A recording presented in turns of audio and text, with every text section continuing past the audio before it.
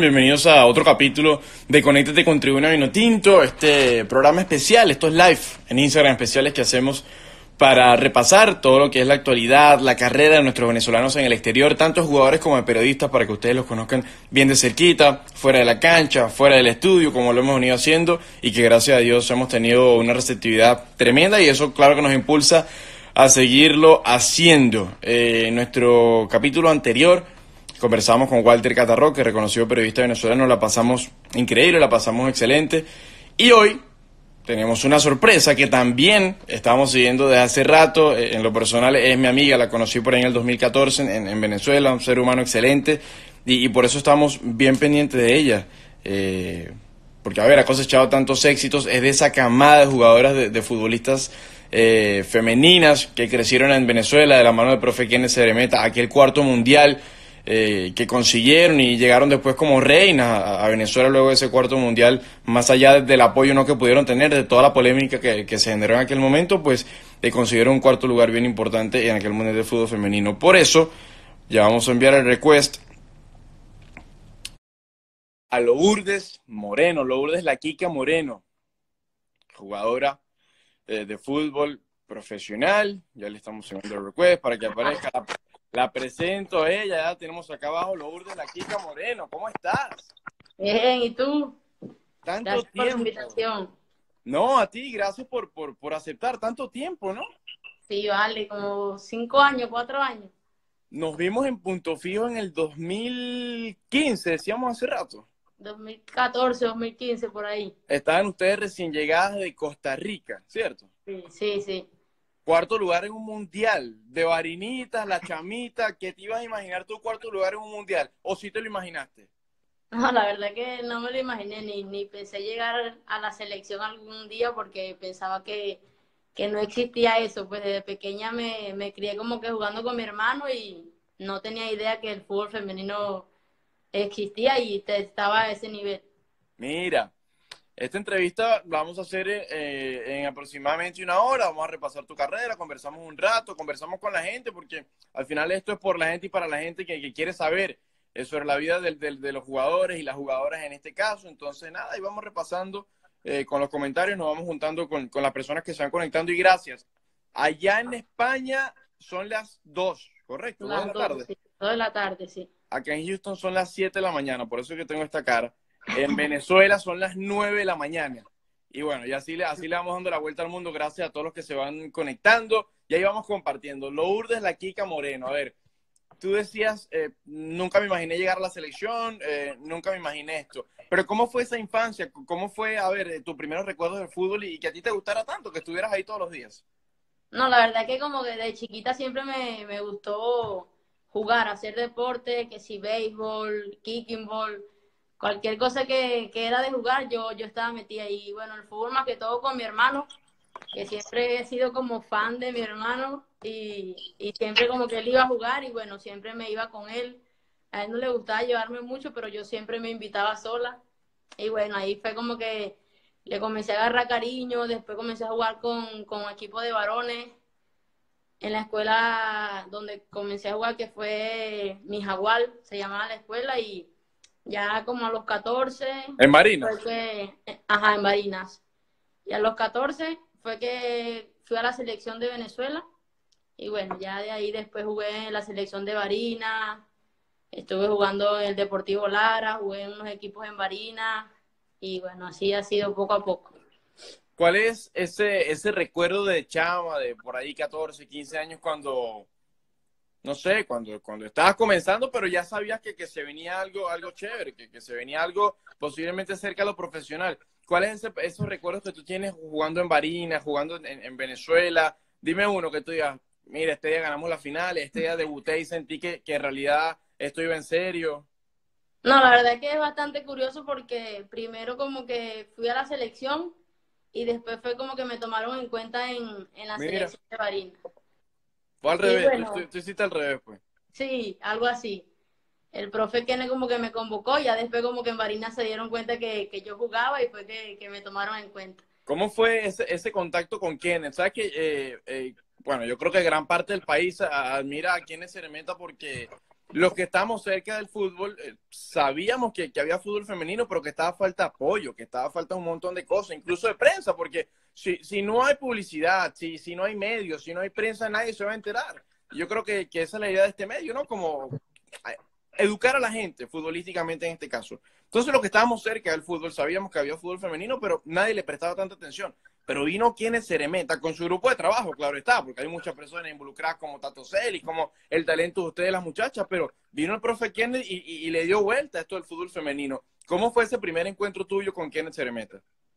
No, la verdad que lo de Kenneth ha sido puro trabajo. Creo que su primera impresión conmigo eh, no le gusté mucho por mi tamaño y como que decía es muy pequeña y estaba con la duda, pero bueno, después como que como que sí dijo hay que hay que darle la oportunidad y bueno, me, me tuve en todos los procesos y creo que lo de Kenneth fue mucho trabajo porque teníamos muy poco apoyo, como todos lo saben, en ese, en ese entonces, 2014, había muy poco apoyo y la verdad es que se trabajó mucho, Kenneth sacó jugadoras que, que nadie sabía que existían, se metían a los pueblos a buscar jugadores y la verdad que, que el trabajo que ha hecho Kenneth, que hizo con, con la selección de Venezuela, con el país, es algo que hay que agradecerle siempre. Nos, nos enseñó, nos fue como un padre para todas las, las generaciones que fueron desde el 2010 hasta que él estuvo. Total, yo creo que quien nos enseñó, no solamente a ustedes, sino nos enseñó a todos, porque eh, nosotros también aprendimos eh, eh, de verlo trabajar, de saber que, que, el profe se montaba en un autobús toda la semana, no sé por cuántos meses, recorriendo el país buscando chamas para, para jugar. Fue incluso a punto fijo de donde yo vengo, que, que honestamente es una tierra donde donde hay poco deporte, donde hay poco fútbol. Creo que es más lo que es playa, pescado, es refinería, es otra cosa, pero, pero no, no, es, no es una tierra donde vas a encontrar muchos talentos y hasta allá fue a dar el profesor Eremita. Entonces creo que nos enseñó muchísimo y nos dio una lección de que sí se puede, de que él solito se, se cargó una mochila llena de ilusiones, de muchas ganas y, y lo consiguió. A ver, vamos saludando a las personas, gracias a los que, a los que se han conectado, en serio. Es temprano, a ver, deben ir camino al trabajo, no lo sé. Mi hermanito Julio Coronado, por hace rato se conectó. Vaya el abrazo, hermanito, hermanito. Eh, Antón Pérez dice, Kika, eres una super crack, espero poder verte en Santiago otra vez y disfrutar de tu juego. A ver, ¿quién más? ¿Quién más está por acá? Vivian Ventura también se paró tempranito para el live. Besos, muy hermosa. A ver, ¿quién más está por acá? ¿Quién más? A ver, se van conectando, se van conectando. Laura Vázquez López, manda un saludo. Compañera de equipo, esa es compañera de equipo. ¿Ah, sí? Sí. Laura Vázquez López. ¿Cómo se porta Laura? ¿Bien? Bien, bien. A veces. No puedes decir lo contrario porque te liquida cuando se acabe el live, ¿no? Exacto.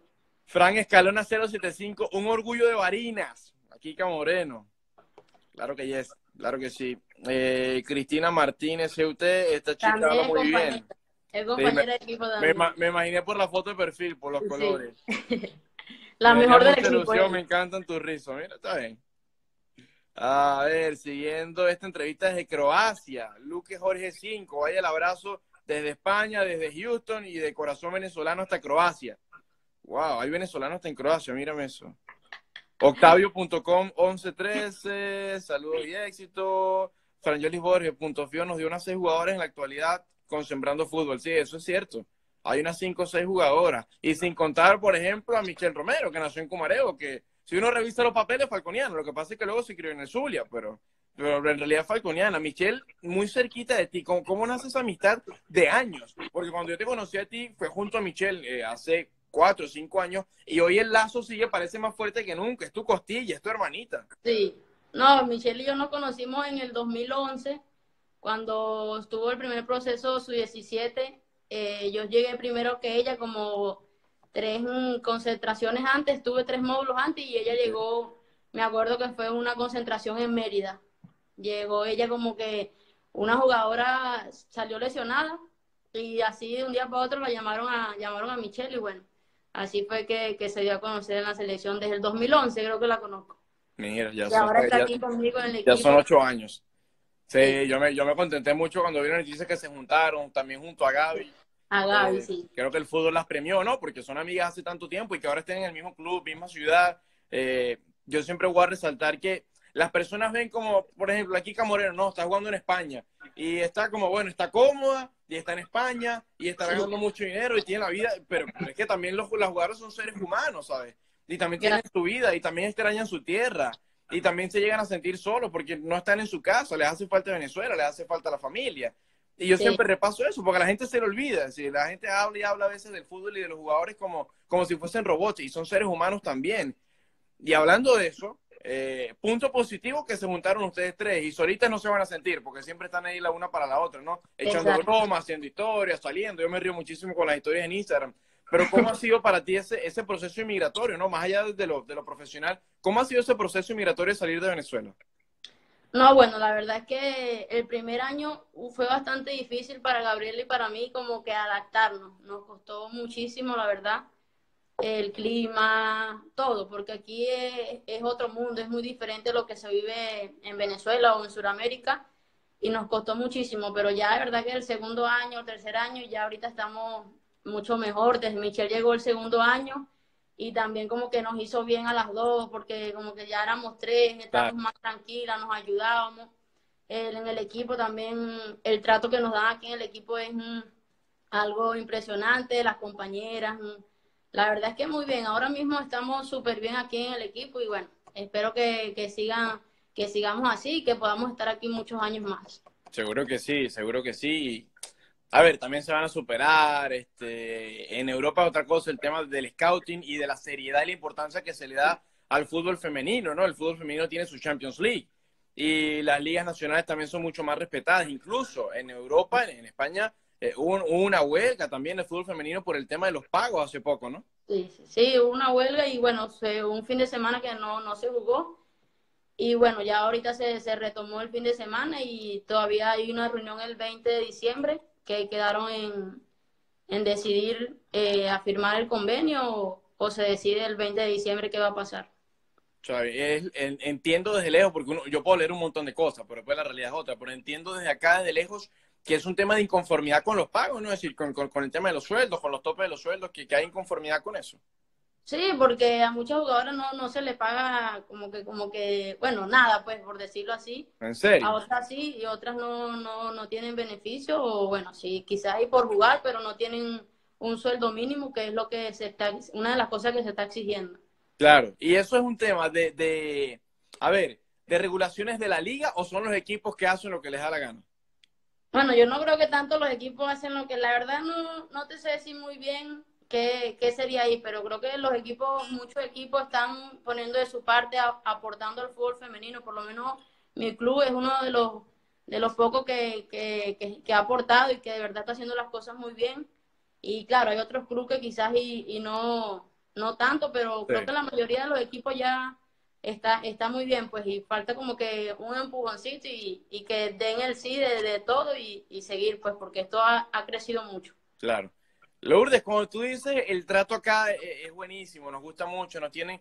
Eh, ¿Qué rescatas tú de eso, del trato que les dan desde la directiva, las compañeras? ¿Qué, qué rescatas tú de eso? ¿Qué, cuáles, eh, ¿Cuáles son los aspectos que más te llenan de, de, la atención que tiene el club con ustedes y contigo, claro, personalmente? No, la verdad que aquí la gente es súper amable, siempre están como pendientes de que tú estés bien. Eh, como te digo, compañeras como en la directiva, el club, este club de verdad que no tengo cómo quejarme. Eh, cuando también cuando me partí la pierna, cuando me tuvieron que operar y todo, de verdad que se portaron excelente conmigo y, y en todo, en todo es así, conmigo, con Gabriela, con Michelle, saben que, que venimos de otro país, que es otra cosa y de verdad que nos lo hacen todo más fácil. ¿Cómo fue el proceso de recuperación de, de, aquella lesión? Yo recuerdo que yo honestamente no sabía nada y recuerdo que en el WhatsApp tú tenías una, una foto de recuperación. y dije, ¿qué es eso? Y me dijiste, no, este, es para tener la pierna inmovilizada. Espérate, pero ¿y qué te pasó? Y me dijiste, no, bueno, me estoy recuperando, me tuvieron, me tuvieron que operar. ¿Cómo, ¿Cómo fue ese proceso? No, la verdad, bueno, primero fue bastante fuerte porque nunca me había lesionado así por tanto tiempo. Y bueno, primero me como que me deprimí un poco, pero la verdad que la recuperación y primero no estar con tu familia es algo súper difícil. Y bueno, estuve aquí con Michelle y, con Gabriela, pero tú sabes que uno siempre cuando uno se enferma, uno quiere tener a tus hermanos, a tu papá. Y bueno, por ahí fue un poco más difícil todo, pero la verdad es que aquí se portaron súper bien. Michelle y Gaby me atendieron muy bien. No digas lo contrario, por eso luego, Michelle. Después la, recuperación, la recuperación con el, el la afición del equipo, los médicos, súper bien. Y bueno, creo que ahora mismo estoy muy bien. Después como que volví a caer, me tuvieron que volver a operar. Y ya ahora mismo sí estoy súper bien, gracias a Dios. Qué bueno. No puedes decir que Michelle no te atendió porque se conectó por ahí, también va bien y te liquida. No, Michelle, se portó bien, no, no tengo quejas. Está bien, no diga lo contrario, se conectó y después, bueno, sabe lo que va a pasar. Mira, pues a ver si tenemos a Michelle, por cierto, más adelante acá en, en Conectate con Tribuno Vino Tinto. Eh, lee un poquito los mensajes, Carlos Oropesa Leal. Todos nos sentimos solos, nos hace falta nuestros amigos, creo que va de parte de todos los venezolanos o del migrante general. Y sí, sí, Sí, creo que a, todo el mundo le pasa. Lo que pasa es que a nosotros como venezolanos nunca nos tocó emigrar como obligados. Antes el que se iba era porque, porque quería, porque, porque se quiso ir a otro país. Ahorita mucho nos tocó salir como obligados, así, apretados por el cuello. Y en cuanto a lo futbolístico, creo que a usted les pasa también, porque obviamente las condiciones en Europa son mejores. Eh, en cuanto a, lo establecido que está un club, a las atenciones, al pago, a las condiciones y claro, yo me pongo en el puesto de los jugadores también y es el mismo proceso, es un proceso laboral, ¿no?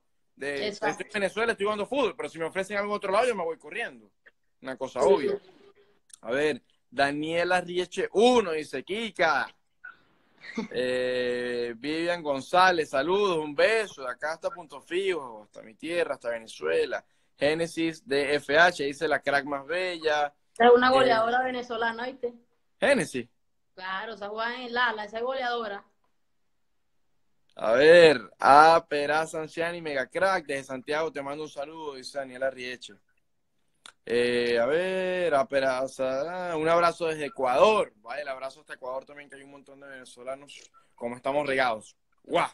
¿Cómo estamos regados en el mundo? Ven, entonces, eh, te llama Kenneth, eh, comienza ese proceso profesional en, en Venezuela. Luego, cómo avanza y cómo llegas hasta la selección y cómo llegas a ser la capitana, cómo llegas a ser la referente de la selección, cómo, cómo llega esa confianza de todo el cuerpo técnico de la selección femenina y tuya con el grupo.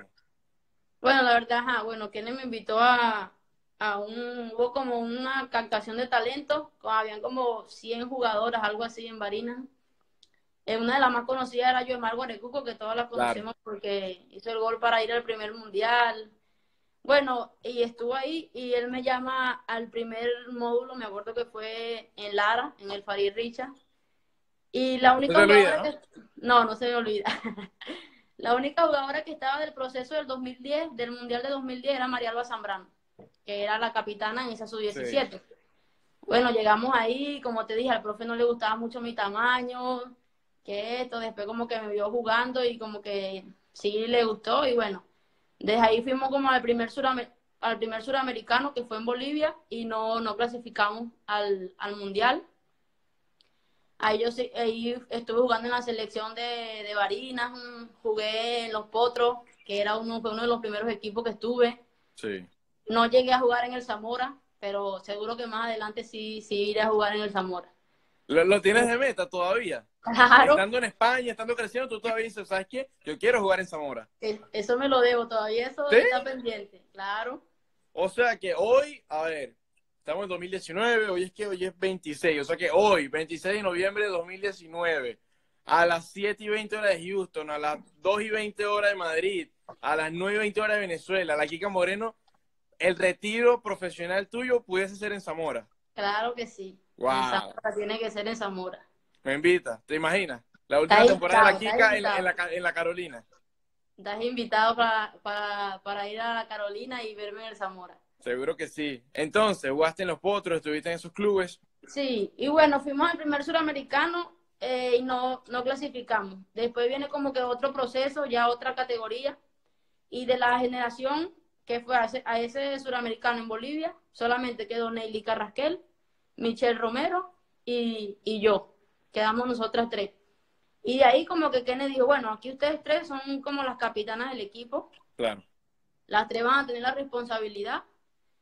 Y claro, ahí se comenzó, se unió Deina, Daniuska, Verónica, Sandra Paola, todas las jugadoras de, ese proceso, Frangeli Rodríguez. Sí. Bueno, jugadoras que creo que no se olvidan en, Venezuela. Sí, se unieron a ese proceso y tuvimos el suramericano y de verdad que teníamos un equipazo. El suramericano quedamos campeonas, me acuerdo que claro. el único partido que empatamos fue con Brasil, 1-1, y la final fue contra Paraguay y la ganamos 7-1. La escocieron, claro, la escocieron ese juego. O sea, eso fue como también un boom en, Venezuela, el, el, suramericano quedar campeona, como que era la primera vez que el fútbol femenino lograba algo así. Sí. Y bueno, ya después como que trabajo, trabajo, y vino el Mundial de, de Costa Rica, y ahí sí fue como ahí explotó todo lo que sí. nos, pudieron ver por televisión, estuvieron pendientes. Y bueno, la verdad que eso sí fue, creo que nos cambió la vida a todas. A todas nos cambió la vida ese mundial. Mira, por ahí se conectó Gaby, ¿vale? Un abrazo. Gaby. Ahí está Gaby, Gaby está por ahí. Sí. ¿Viven cerca, en, el, en, el, en el mismo, la misma residencia ustedes? Sí, vivimos juntas en el mismo, en el mismo apartamento. O sea, que ella escribió, pero debe estar rodando por ahí. Está dando No te vas a escapar, Gaby. También vas a estar con nosotros en Conéctate con Tribuna Pino Tinto. A ver, había un comentario aquí se, se me escapaba, ¿vale? Ah, aquí está, Apera Sanción y esa generación con el profe Kenneth nos dio demasiada alegría, sí. Y, a, eso, iba, porque, a ver, Daniela Rieche 1, eh, viva el D por Lara, Kika. Sí, que, viva, que viva el fútbol venezolano, en general. Que viva otra realidad pronto. Eh, yo recuerdo aquella época que, es que insisto, yo le decía, como decíamos al principio de, este live, eh, ustedes quienes estábamos cerca del fútbol sabíamos que estaban trabajando por equidad y la mayoría del país, digamos, no se enteraba nunca, porque no era una cosa que se vendía, no era una cosa que salía en el noticiero, no era una cosa que salía en, las cuentas de Twitter más importantes, porque no se le daba importancia. Y ustedes, al conseguir los triunfos, era cuando salían en la, en la portada de, no sé, de Meridiano, cuando eran noticias en, la vinotinto.com, las cosas que, la gente eh, comúnmente lee. ¿Cómo se tomaron ustedes ese proceso donde estuvieron trabajando duro, donde estuvieron sembrando y que luego muy pronto después recogieron la, cosecha de eso que sembraron, ¿no? El trabajo arduo, ese gran equipo de quedar campeonas. ¿Cómo te viviste todo ese proceso de, estamos bregando duro, estamos consiguiendo algo importante y nadie nos presta atención? Y de repente entonces son las heroínas del país ¿Cómo te viviste tú ese, e, esa transición? No, la verdad que bueno, primero como te digo, fue difícil, pero Kenneth siempre como que te, te motivaba, te motivaba, te decía como que esto es nuestro, tenemos que hacerlo, tenemos que seguir adelante, tenemos que trabajar. Y Kenneth siempre como que fue ese el que nos guió en todo, pues nosotras como que a veces no tenemos, ¿sabes? Como que el apoyo que, se necesita, pero la verdad es que Kenneth fue lo, lo, principal en, en, todo ese proceso. Y bueno, después como que poco a poco fuimos haciendo cosas y ya sabíamos que, que, íbamos a hacer como un boom. Y la verdad es que sí fue así, fue como que logramos algo y tuvimos a todo el mundo a nuestro a nuestra disposición. se, acercó, se acercó todo, todo, todo lo, lo que se puede, lo que uno sabe en Venezuela, se acercaron, que necesitan esto, aquello. Pero después de, no estuvieron en proceso, sino después de. Después, claro, después de lograrlo.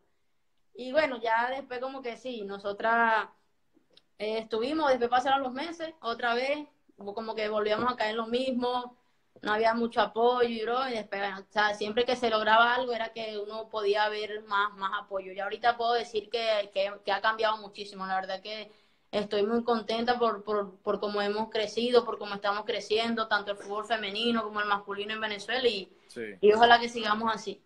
Sí. Yo siento que hemos crecido mucho, es cierto, pero la misma evolución nos ha llevado, porque si uno voltea a un lado, eh, no sé, yo siempre repaso, Bolivia también ha crecido, Perú ha crecido muchísimo, que es una selección que antes posiblemente estaba eh, en cuanto a federación y en cuanto a nivel de fútbol, tú la veías ahí cerca de Venezuela, Bolivia, Perú, estaba en el fondo, ¿no? Y después tú comenzabas a subir un poquito. Paraguay, después comenzabas Uruguay. Hoy todo el fútbol ha evolucionado y yo siento, yo me emociono mucho, como tú dices, también siento que falta muchísimo, que pudiera ser, pero mil veces mejor, que ustedes se merecen mucha mejor atención y mejores cosas, pero es cierto que ha progresado increíblemente.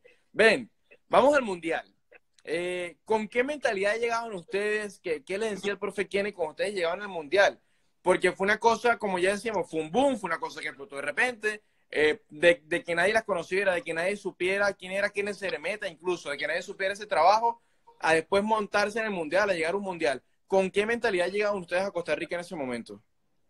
Bueno, la verdad que desde Paraguay siempre fuimos como que la cenicienta. Venezuela siempre nos tenían como que lejos de la realidad del fútbol. Este es el Ese, equipo débil. esa era la previa de cada partido. Venezuela, este es los tres puntos seguros, este es tal, y bueno, nosotras poco a poco fuimos dando como esa sorpresa y ya en el Mundial nos, nos comenzaron a respetar los equipos. Y bueno, ya cuando comenzamos a ganar, que nos metemos en, en cuartos, nos metemos en semi, ya, ya se hablaba de Venezuela, se decían otras cosas, ya Venezuela no era la cenicienta, ya Venezuela ha crecido, ya Venezuela tiene jugadoras súper buenas y bueno, creo que poco a poco se fue ganando el respeto. Después también fuimos a un Mundial Sub-20, que es el único Sí. Mundial Sub-20 que se ha ido en femenino femenino. ¿no? en Venezuela y bueno, eso también fue algo grandioso que se logró y bueno, lástima que en el Mundial no se obtuvieron los resultados, pero fue algo que también se logró que nunca se había logrado. Mira, Lu. Coño, mi mami, vale. Mami, ¿cuánto te quiero? Sonimar Velázquez, saludos de la casa de Mario. Y también de Kika cuando guste. ¿Tú conociste a mi mamá y a mi papá cuando fuiste a Punto Fijo? Sí, sí. Yo me acuerdo. Mami, te extraño, mami. ¿Cuánto te quiero, vale? A ver, Andrea Perazo 21, fue épico que le dieran esa felicidad y orgullo a toda Venezuela. Sí, fue una cosa. Saludos, prima. Boom, Es boom. mi prima. ¿Ah, sí?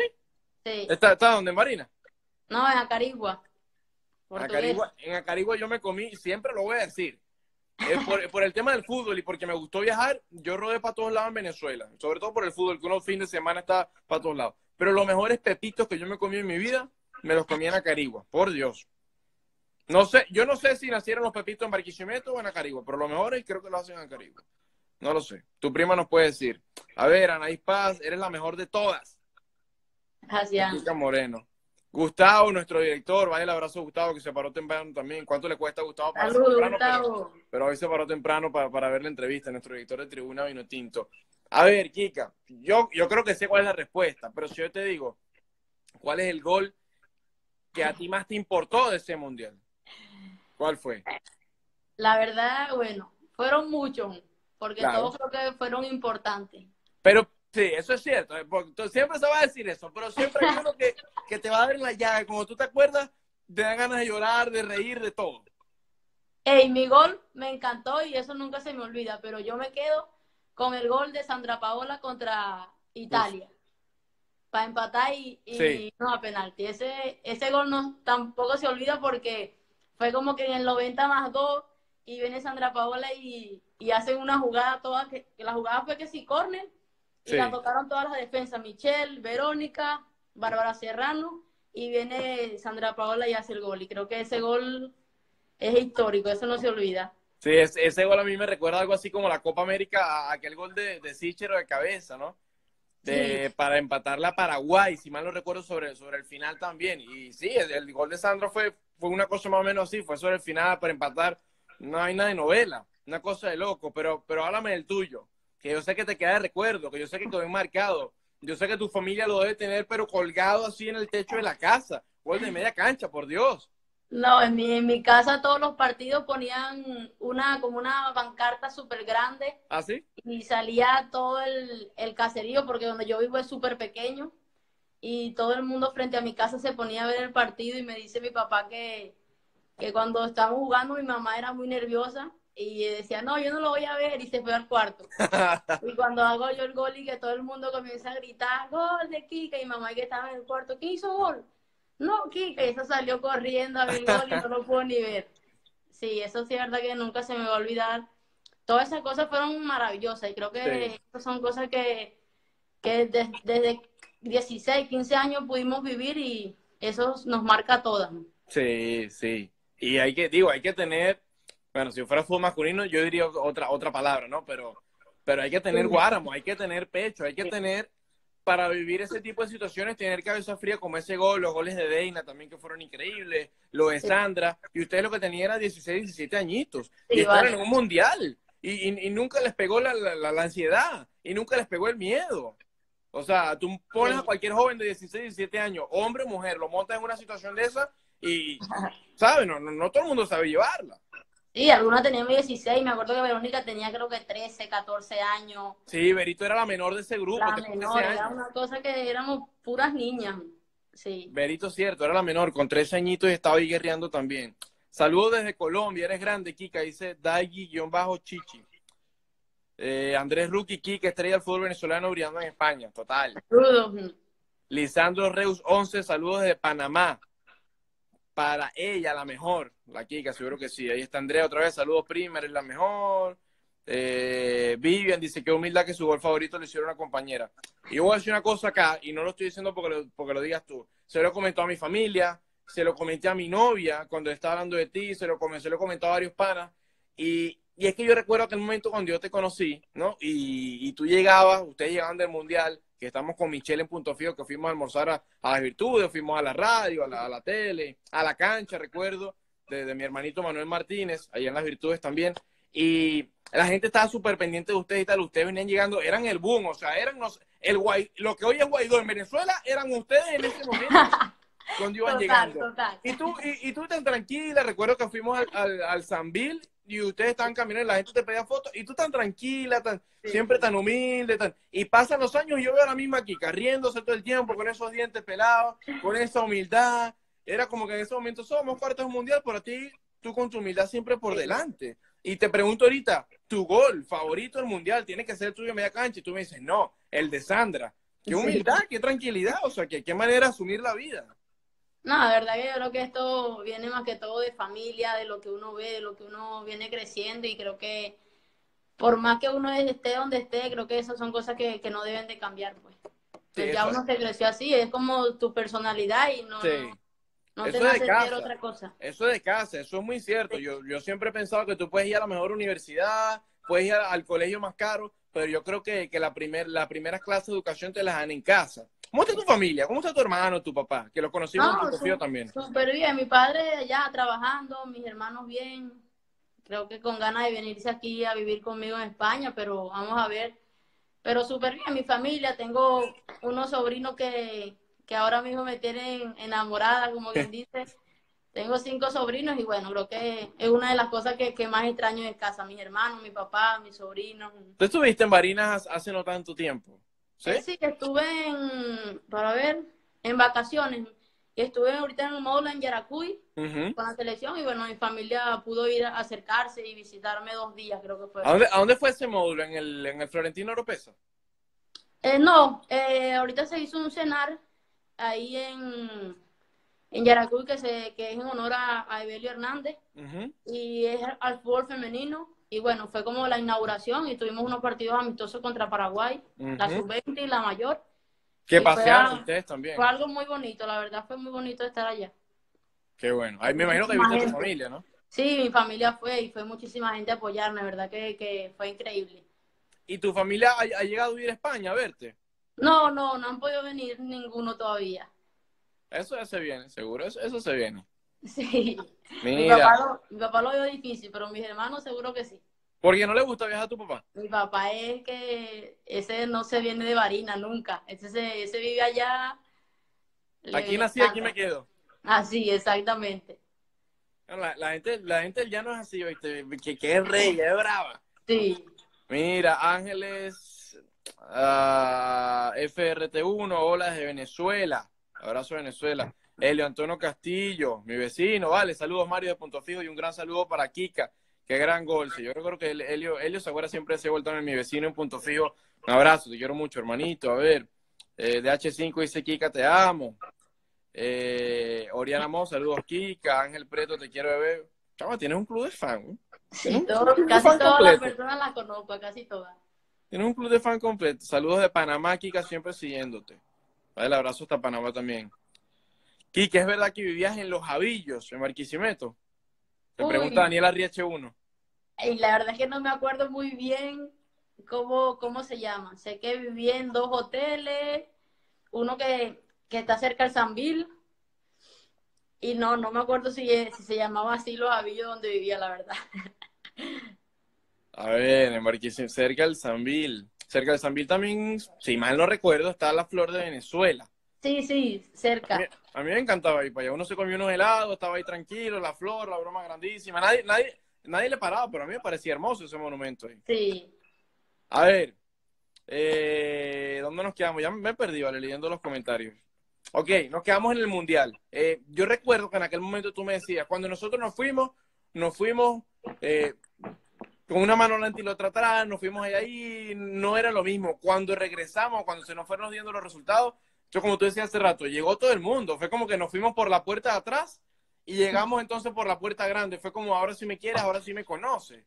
¿Cómo se vieron ustedes ese proceso de entender de que, a ver, en el país muchos ciudadanos venezolanos tal vez no tenían culpa, porque es como, bueno, no sabían nada de ustedes, estaban mal informados y de repente, bueno, fueron la alegría del país y, con el corazón se, se enorgullecieron. Pero después había muchos intereses también, intereses de publicidad, intereses de política, intereses de muchas cosas. ¿Cómo, cómo se vieron ese proceso, ese proceso ustedes como grupo de, ah, no nos quería nadie, ahora sí nos quiere todo el mundo?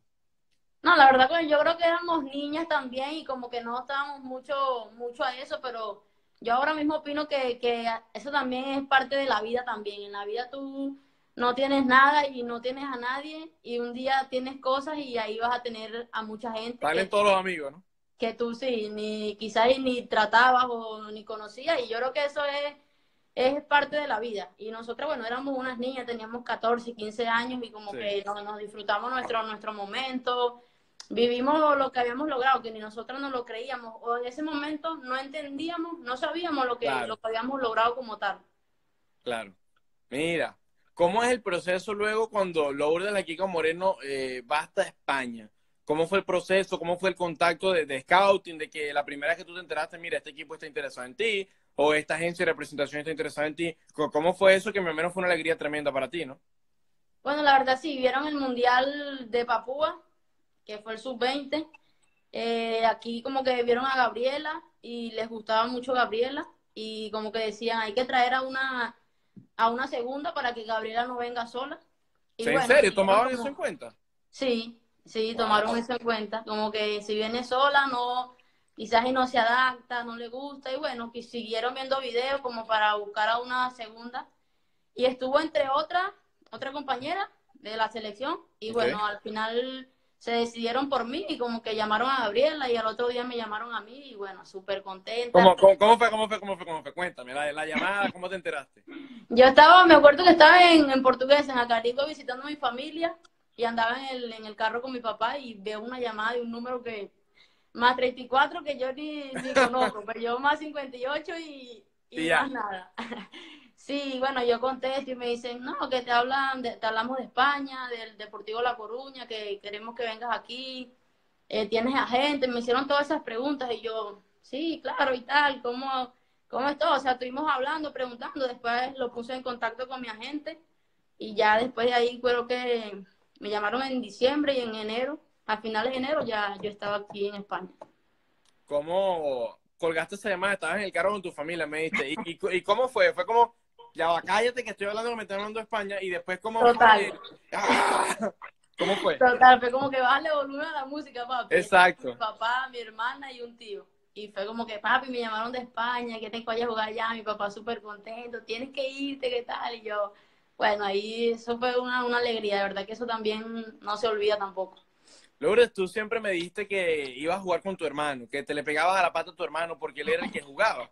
Eh, ¿Cómo, ¿Cómo es el orgullo de tu hermano? ¿Cómo, ¿Cómo es esa relación con tu hermano hoy? De verte tal vez que tú estás consiguiendo un sueño. Ojo, porque yo siento que llegaste alto, pero siento que también vas a dar muchísimo más, que vas a seguir creciendo, que vas a seguir consiguiendo cosas importantes. Y amén que así sea. Pero ¿cómo, es esa relación? Él, verá eh, reflejado en ti el sueño que él quería y ver que su hermanita lo está consiguiendo. Yo, yo soy hijo único, pero me pongo como hermano y debe ser una sensación increíble.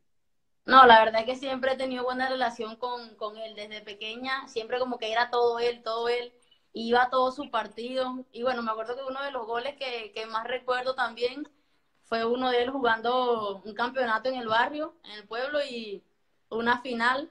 El otro equipo era como que tú sabes, con uniforme de, juego, de presentación, y ellos eran que si la, la, camisa de juego y el short de otros colores. Otro color, sí, siempre pasa. Sí, y viene él le agarra un balón, era como fútbol 7, y agarra el balón en la media cancha y gira y le pega y hace el gol 1-0, casi que terminando el partido.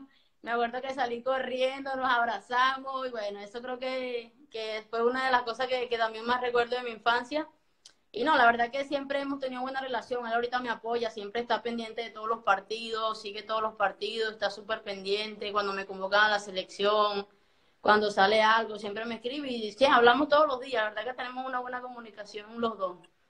Qué bueno, qué bueno. Siempre, siempre te recuerdo así, ¿no? Pegadita a tu familia. Eh, yo recuerdo en Punto Fijo, eh, estaba tu hermano, creo que estaba un primo y estaba tu papá cuando yo te conocí. Y estamos con la mamá de Michelle también, me acuerdo. Siempre yo he sido muy, muy pegada a mi familia. La verdad es que cuando la primera vez que salí de casa me costó muchísimo, porque siempre como que he sido súper pegada a ellos, a todos. todavía no, no he perdido eso. Sí, estamos lejos, pero yo siempre estoy, estoy pendiente, estamos hablando todos los días y me hacen falta, pero bueno, ya pronto los veo. Ahorita en diciembre voy a casa si Dios quiere. Uy, qué rico, qué rico ir a Venezuela en diciembre, por Dios. A ver, ahorita que dijiste, me costó salir la primera vez. ¿Lo de la Kika Moreno cocina? claro. ¿Sí? Me ofende con tu pregunta. Pero aprendiste a cocinar cuando llegaste, por, porque bueno, porque no, te quedaba de otra, o tú saliste de Venezuela sabiendo cocinar. No, no. Tienes, sazón llanero, tienes sazón de varino. Aprendí aquí o si no, pasaba hambre, pues. sí, mi hermana. Eh, cuando Ay, ya aquí dice Naurin Sánchez que no, no cocina. Esa, esa está mintiendo, está mintiendo. Mm. Esa es una amiga. Voy a averiguar. Voy a averiguar para decir verdad. Eh, me costó muchísimo porque en casa no cocinaba. Me acuerdo que mi oficio en casa era lavar los platos, más nada. Y cuando llegué aquí, primero no sabía nada. Y cuando ya dije, ¿cómo hay que cocinar? Llamaba a mi hermana por teléfono, a mi hermana menor. Mira, ¿cómo, que se pone a hervir agua? Sí.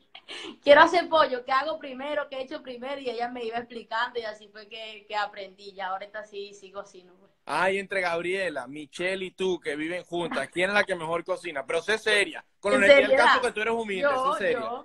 Entre las tres yo. Ahí está ah, mira, ahí, ahí, ahí, salió Michelle, sí cocina, aquí es mi salvación. Michelle, Michelle, pero tú tienes que tener sazón de, de Yo no creo que tú no cocines, ¿vale? No lo creo. No lo creo. Abrazo a Michelle, ¿vale? Sé que a ver si, si hacemos el contacto con Michelle para que esté también con nosotros acá en Tribuna Vino Tinto. Seguro que eh, sí. Yo soy la que mejor cocina, pero muy poco lo hago. Ah, bueno, se agrandó. Eso es mentira, ella sabe que no cocina. Ah, ah bueno. sí, cocina bueno, pero muy poco, es verdad. Bueno, yo te, yo, te, yo te creo a ti. Yo te creo a ti. Mira, eh, ahorita, ahorita te, te, iba a hacer una pregunta con respecto a lo, de la familia, pero se, me escapó, vale, se me olvidó, se me olvidó. Pero bueno, leemos aquí un poquito más de comentarios. A las españolas, las arepas nos las llevó a conocer fuera, ¿eh? No nos las hizo. No te creo. No te creo que tú dijiste, mira, te voy a llevar, a, las arepas son lo mejores, pero vamos a comprar las hechas. Yo no creo eso de ti, no lo Total, total. Tuvimos una falla y tenemos que, que recompensar eso. Claro, tienes que hacer una arepa como nosotros sabemos hacer arepa y rellenarla con carne mechada. No, vale. Ella escribió mi prima, eso es verdad. Nuri, su mamá cocinaba espectacular, su arroz con pollo, los dulces, Semana Santa, lo mejor, sí sabe. Sí, era lo mejor, era lo mejor. siempre tienes a tu mami súper presente, ¿no? Siempre. Sí, Sí, la verdad es que bueno, eso siempre, siempre estará y creo que nunca la voy a olvidar, pues algo que uno lleva siempre con, con nosotras, ella siempre como que nos está cuidando, está presente.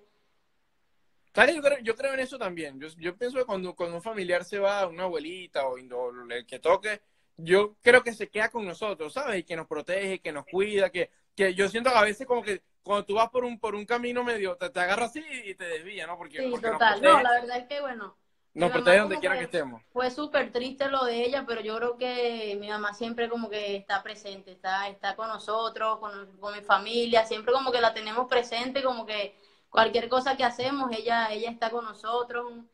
Y la verdad es que la recordamos muchísimo, en casa se recuerda muchísimo. Qué rico, qué rico. Sí. Eh, a ver, Gustavo M. Bajo, nuestro director. Eh, nos pregunta qué tal la relación con la profesora Pamela Conti. ¿Cómo fue ese primer contacto con, la profe Conti que recientemente asumió el puesto de, de seleccionadora nacional allá en Venezuela?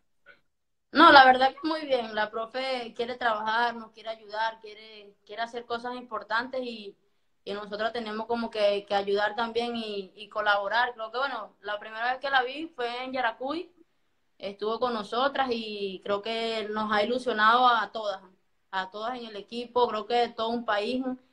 De verdad que es un placer tenerla, tenerla en Venezuela, tenerla en la selección y quiere ayudar y quiere hacer cosas importantes y tiene las jugadoras y yo creo que, que vienen cosas importantes la selección mayor. ¿Sabes que me llama mucho la atención? Que precisamente en el desarrollo, ¿no? en la evolución del fútbol eh, femenino venezolano, creo que es a nivel mundial, ojo, pero Venezuela, gracias a Dios, no se escapó de, de, esa evolución y que se ha puesto hasta un poquito de moda Y, por ejemplo, Deina eh, ha tenido un, revuelo tremendo en, cuanto a futbolísticamente, indudable, y en cuanto a imagen después también, porque viste que la llevan a la gala de la FIFA y todo lo demás.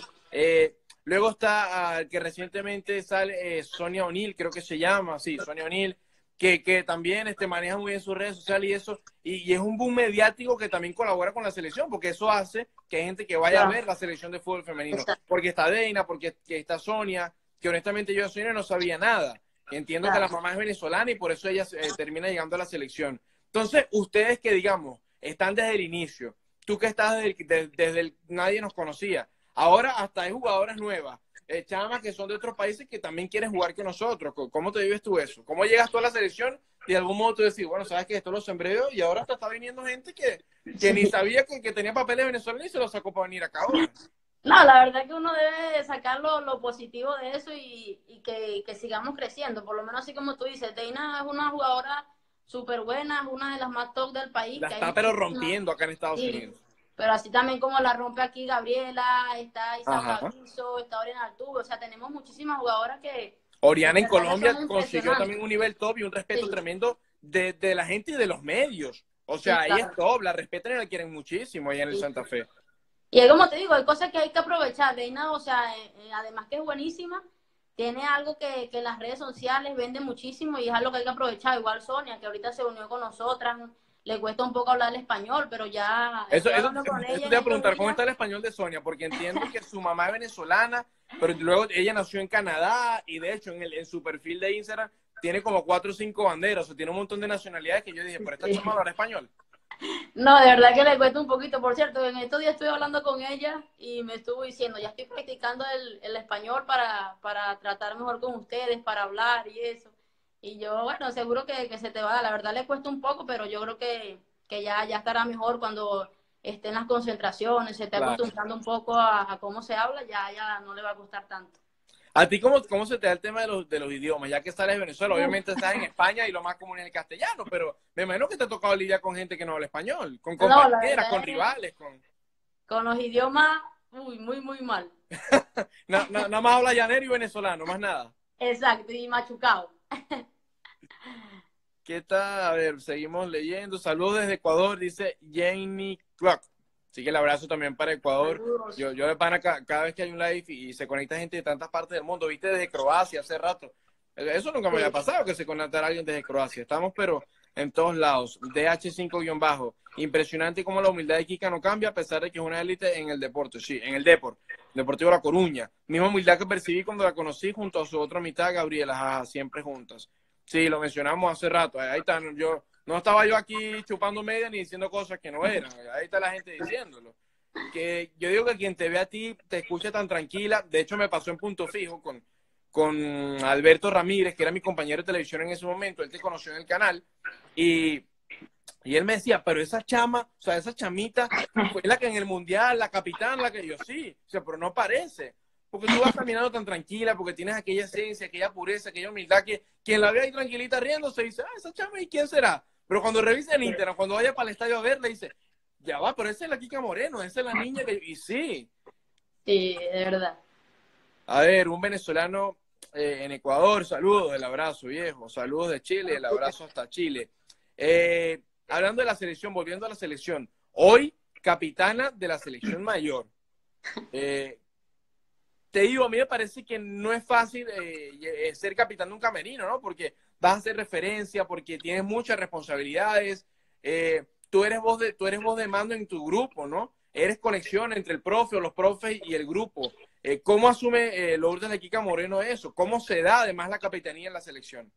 No, la verdad que es algo muy importante, pero es como yo digo, somos como, ahorita estamos cuatro capitanas y es como, como la voz de todas, pero yo siento que, que todas hacemos como, como parte, todas somos importantes y todas podemos como hacer ese papel pero claro, es algo súper importante, es algo que, cualquiera quiere tener, que cualquiera quiere estar ahí. Y que no cualquiera puede, porque no cualquiera tiene voz de mando y respeto de parte del grupo, ¿no? Es un orgullo y claro, no, no a cualquier jugadora se, se respeta o tus compañeras aceptan bien, porque ya al tú llevar la banda tienes que tener como el apoyo de tus compañeras, porque de nada sirve que la tengas y tus compañeras como que, saben, pasan de ti. Sí. Pero la verdad es que, bueno, muy bien las compañeras, de verdad que este grupo estos dos, dos, concentraciones que hemos tenido, este grupo estaba excelente y ya son dos concentraciones y ya yo siento que, que esto es algo que, que, vamos a dar mucho de qué hablar, que vamos a crecer, que en el nombre de Dios vamos a ir al, al Mundial de Mayores y hay, hay, que trabajar muchísimo, pero lo podemos lograr, tenemos todo. Ya ustedes saben, ya ustedes saben lo que es estar en el Mundial y lo que es trabajar duro por eso. Sí. Eh, ¿cómo, se da, ¿Cómo se da eso de que, sabes que Lourdes Moreno va a ser eh, la primera capitana? Ella va a ser... ¿Cómo, ¿Cómo, se dio eso dentro del grupo? No, la verdad es que la profe hizo votos, votos de jugadora y cuerpo técnico. Y bueno, entre los votos, todas, entre todas, todas, todas las jugadoras votaron y todo el cuerpo técnico. Y bueno, que fui una de las que tuve más votos. Y así se, se decidió. Y bueno, fue como que yo no me lo esperaba para nada porque te lo digo, hay jugadoras de, de edad, 28 años, 26 sí. años, que yo respeto y cuando hicieron las votaciones, me acuerdo que Gabriela me preguntaba como que por quién votamos y yo por tal. y como que, ¿sabes? No me esperaba en ningún momento que, que, fueran a votar por mí o que yo fuera a quedar, ¿sabes? Como que hay muchas jugadoras, vi Soriana, claro. Libe Castro, jugadoras que tienen muchos años, en la selección claro. y, y, en la, en la mayor mucho más. Yo soy como que llegando, pues, y la verdad que fue una sorpresa, casi que me pongo a llorar y todo porque no me lo esperaba. Claro. Pero de verdad que fue, fue bonito y bueno, ahorita a trabajar y a, seguir haciendo las cosas bien. Una pregunta que me, que me, que me, me dijeron, me la mandaron a hacer ayer, o sea, me, me dijo un pana, me dijo, ¿qué se sentirá como jugador uno de este lado, ve el cambio a la franela de la selección? Y es como raro, ¿no? Yo todavía veo la Giboba y, y, honestamente no la he comprado, no la tengo, porque es que me cuesta aceptarla todavía, ¿no? Porque después de tantos años viendo los modelos Adidas, la franela vino tinto, sin tanta raya, sin tanta cosa, es como, ¿cómo, ¿cómo fue la primera vez que te pusiste el uniforme, en el cambio de uniforme? ¿Te afectó de algún modo o lo seguiste viendo como la camiseta de mi país, de mi selección? No, la verdad es que es nuestra camiseta y hay, como, hay que respetarla, es algo que, que llevamos con mucho orgullo. Eh, y la verdad es que, bueno, todas como que, ¿sabes? Nos gustó, nos ha gustado los uniformes, de juego a muchas les ha gustado porque es pegadito, es, es ajustadito y la verdad que, que estamos contentas, no, no, nos ha, no nos ha afectado eso en ningún lado y yo creo que todas por ir a la selección, nada más por vestir la camiseta, tener el escudo, wow. ya eso es un orgullo para, para todas, para cualquier jugadora que, que quiera ir al, a la selección, que es lo que todos queremos, creo que es un orgullo para todas. Sí, yo, yo, digo lo mismo, ¿no? yo dije, sabes que al final la franela de la selección, pero, pero obviamente hay un cambio ahí de, de, de, de sentimiento, de, de, no sé, es, es, hay un feeling diferente. Yo no he hecho clic con la franela todavía, pero bueno, tengo que enamorarme, juro. Palazzo Tony, saludos de Puerto Ordaz, eres grande, Kika. Aldair-MSS, orgullo de tu pueblo y siempre humilde. Saludos de Viña del Mar, cuñada. Eh, Euglis Cordero, éxitos y bendiciones, amén. Mira, Genesis dice que no se ha bañado porque está escuchando la, la historia esta jugadoraza.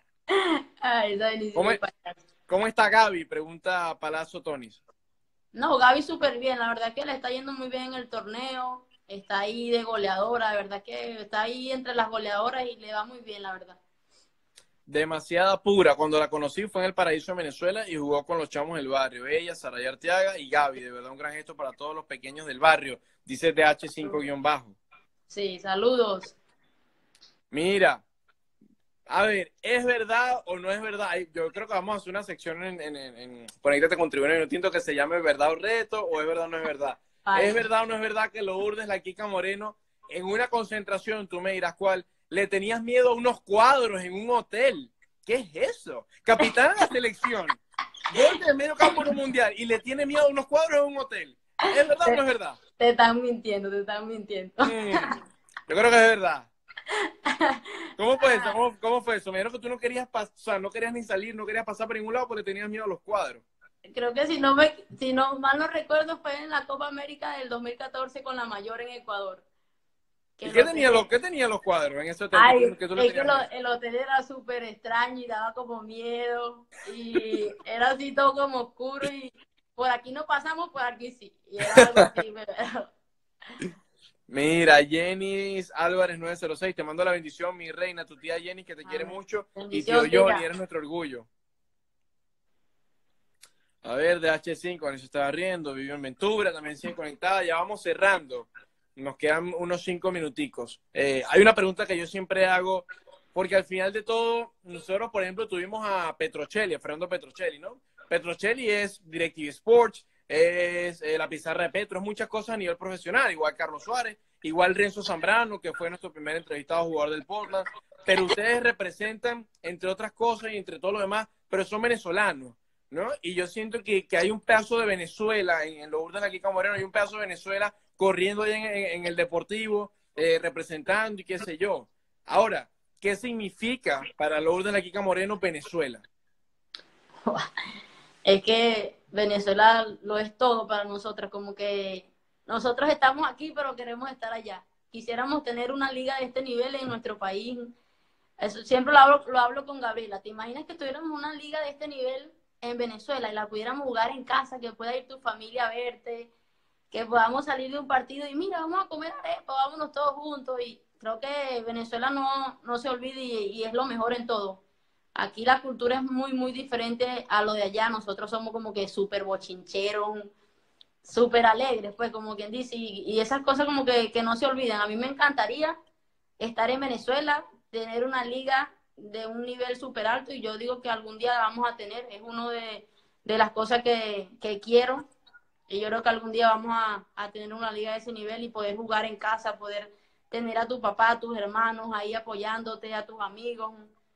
Aquí siempre, bueno, en el equipo van los padres de, de nuestra compañera, los amigos, sus sobrinos, y como que uno dice, ¿sabes? Si tuviéramos esto y en Venezuela fuera algo extraordinario, y aquí lo es, imagínate tenerlo en Venezuela.